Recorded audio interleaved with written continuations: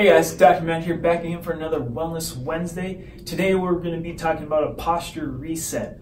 And I'm going to be showing you the Brugger's relief position. Alright, so we've been harping a lot on, we're good at doing this, flexing forward, shoulders are rounded, head uh, getting closer to that screen.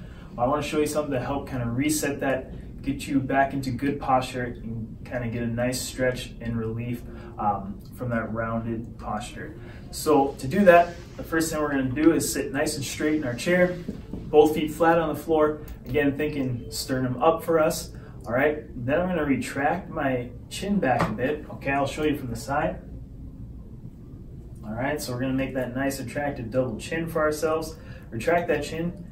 We're gonna think of bringing those shoulder, shoulders down and in, okay? Shoulder blades are gonna come down and in. Nice relaxed posture. And then we're just gonna bring those arms back and out to the side. So you'll notice they're a little bit behind me, but not, not a ton behind. They're just a little bit um, behind the body there. So our shoulders are down, heads retracted, sternum's up, arms to the side, and then we're just gonna be taking deep breaths, okay? Good deep stomach, belly breathing for about 30 seconds, and then we're gonna relax, okay?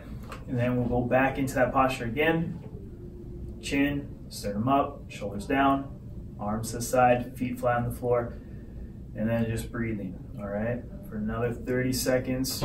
Again, you can do this two to three sets, but it's just a good way to kind of reset the posture, get focused again, and then increase your ability to get back to work um, feeling better, all right? We're here to help you move better, feel better, be a better you. You guys have a great week. We'll see you next Wednesday. Everybody's moving, everybody's moving, everybody's moving, moving, moving, moving. Everybody's moving, everybody's moving, everybody's moving.